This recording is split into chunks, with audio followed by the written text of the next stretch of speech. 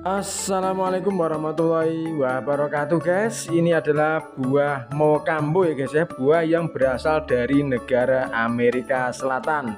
Bentuknya mirip sekali dengan buah coklat atau kakao ya guys ya. Jadi ini adalah perpaduan antara buah kakao dengan buah durian ya. Teman-teman bisa lihat.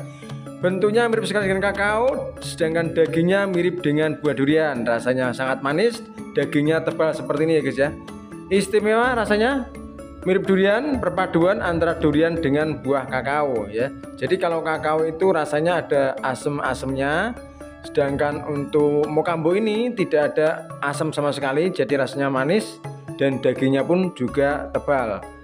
Seperti ini ya guys ya. Bentuknya kuning seperti ini wow istimewa ya. Sangat rekomendasi untuk dikembangkan. Dan satu lagi ini adalah bibit yang masih mahal di mana pun ya. Jadi di negara mana pun bibit ini masih sangat mahal. Terima kasih salam tani salam buatan. Assalamualaikum warahmatullahi wabarakatuh